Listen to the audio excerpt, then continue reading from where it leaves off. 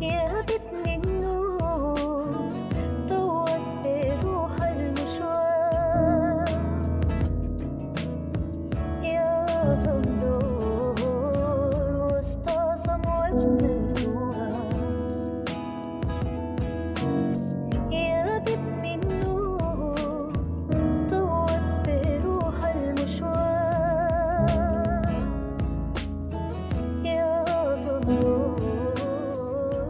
تجربتي أنا تجربة في تبني فكرة الأستاذ محمود محمد طه اللي هي فكرة قايمة أساسا على طرح مفهوم جديد في مسألة قضية المرأة وفي مسألة مساواة المساواة التامة من داخل الدين. آه نحن اتبنينا الفكرة دي. يعني أنا اتبنيتها يمكن أكون وأنا داخلة على الجامعة وكان يعني مثلا في فترة السبعينات يمكن دي تكون من أكثر الفترات اللي كانت بالنسبة لي فترة خصبة وفترة فيها مواجهة آه، في مسألة إنه كيف كيف إحنا نقدر نكسر الحاجز بتاع إنه المجتمع ده مجتمع رجالي وإنه المجتمع ما بيدينا الفرصة في إننا نكون نخرج في المجتمع ونواجه ونتكلم عن قضايا الدين.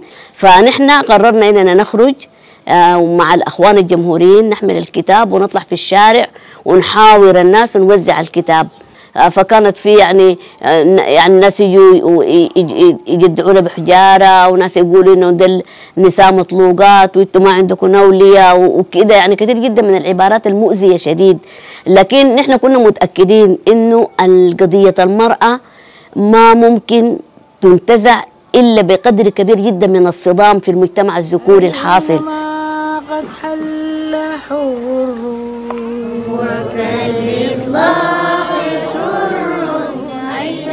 حقيقة أنا بعد آه، غيام الإنغاص طوالي آه، 90 بالتحديد أنا شعرت بأنه أنا ما حقدر لأنه طبعا أسفروا في الف- في الفترة دي عن وجههم آه، عن وجههم اللي كانوا مخفي في إن الحكومة دي ما حكومة بتاعت أخوان مسلمين وكده. فظهر إنهم أخوان مسلمين وظهر لي إنهم هم امتداد يعني لل لل لل للناس اللي كانوا وراء اغتيال الأستاذ نفسه. فطلعت من البلد. آه لما جاءت اتفاقية السلام سنة 2005 أنا شعرت بأنه في مساحة بعد ده الواحد ممكن يرجع يعمل حاجة. وجيت مع مجموعة من الهناية عملنا المركز بتاع الأستاذ محمود الثقافي. لكن كانت دائما آه، في يعني هجمات من ناس الأمن واستدعاءات وتوقيف لل للحر... ال- ال- الندوات بتاعاتنا. بعد ذاك سنة 2014 أغلق المركز تماما. والتصديق بتاعنا صار المفعول لمده سنة كاملة. ونحن وفقا للحكاية دي رأينا إنه ما في داعي نستشير جهات أخرى ولا ناخذ تصديق من الجهات دي طالما إنه التصديق بتاعنا ساري. وهي دي الجهة اللي نحن بنتعامل معاها وده القانون اللي نحن بنتعامل معاه. عملنا كله قايم وفق القانون. آه لما أغلقوا ال- المركز فكرنا في اننا ليه ما نعمل حزب. يمكن الحزب يكون أسهل. رفضوا لنا رفض بات. إنه الحزب يقوم. وبقت قضايا دستورية قضايا في مسألة ال- آه، آه، يعني حقنا الدستوري في إنه نحن لابد من إنه يكون عندنا الحق في التنظيم وحق في حق الرأي وحق الاعتقاد وكده. والقضايا الدستورية برضه سوفت سوفت وأخيرا برضه رفضوا لنا. التجربه بتاعت إنه امرأة تقود آه، حزب ما تجربة سهلة.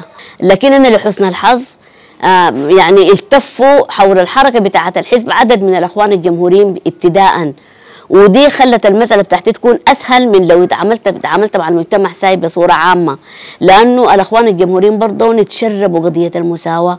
لكن أنا بفتكر مسألة القيادة آه سواء كان للأحزاب ولا لغير الأحزاب بتعتمد على شخصية المرأة.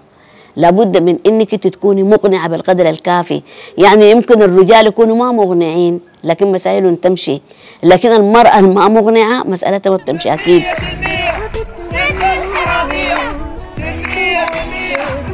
ضد الحرامية.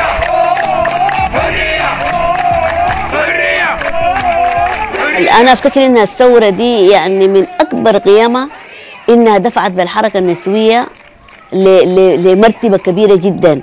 ودي بحقيقه حاجة اكتسبتها النساء. ما حاجة م- منحت لهم. ودي أدت دفعة. لكن بفتكر الدفعة دي ما اتشرت. يعني لحد يومنا هسه في تراجع حصل. والتراجع اللي حصل برضو أفتكر إنه لأنه برضو تجربة النساء ما كانت ما كانت كبيرة. يعني معظم الشابات اللي كانوا بيطلعوا في المظاهرات يمكن يكونوا كانوا مولودين في الإنغاز. فعشان كده حصلت ردة. حصلت ردة مننا نحن من النساء يعني بصورة عامة وحصلت ردة من ال- الرجال اللي اتولوا قضية الحراك بتاع بتاع الفترة الانتقالية. عشان كده انتكست الحركة. الأخوات الجمهوريات ما كانوا حاجة مختلفة. يعني نفس الحكاية. يعني إحنا كنا في الميدان كنا في الاعتصام كنا في المظاهرات واعتقلنا مع من اعتقل من النساء. لكن للأسف يعني الثورة العظيمة دي ما أنتجت الحقوق اللي بتستحقها النساء زي ما هم دفعوا فيها يعني. آه، بفتكر إنه من مشكلة الحركات مش- مشكلة المرأة الحركات النسوية فيها حركات دائما موزعة. يعني ما ما ما ممكن يشكلوا جسم واحد يقوم على رؤية واحدة تخدم قضية المرأة. ودي كلها حركات موزعة ممكن كانت تتجمع كلها في حركة واحدة يكون الهدف الأساسي بتاعها إنجاز مهام إنه المرأة آه، تكون مساوية للرجل في القانون ومساوية له في الحياة الاجتماعية. برضو المشكلة أنا بفتكر إنه آه، يعني مثلا لحد كبير يعني الحركة النسوية مثلا والاتحاد النسائي كان عنده دور كبير جدا في مسألة الحقوق المدنية في مسألة الحقوق السياسية. يعني عملوا مثلا عمل كبير في آه مثلا إن المرأة دخلت البرلمان. مثلا طالبوا بالحق المتساوي للأجر المتساوي ودي آه دي, دي مسائل كبيرة لكنهم أغفلوا القضية بتاعت حقوق المرأة داخل الدين.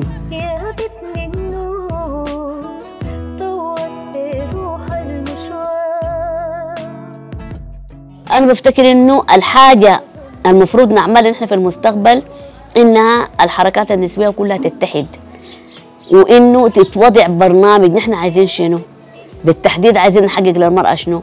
لأنه مجرد آه إنك تكتسب المرأة تكتسب حقوق سياسية. لكن الأهم منه نحن وضعنا شنو في قانون الأسرة في قانون الأحوال الشخصية.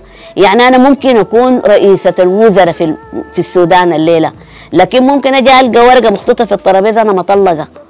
ولا أجي ألقى بعد شوية الراجل شرد مشى على مرة تانية ولا جابها لنا في البيت. فدي قضايا إذا ما كان حلت أنا بفتكر إنه كرامة المرأة وعزتها واكتسابات اللي برا دي كلها بتنهزم أساسا والأسرة كلها بتنهزم.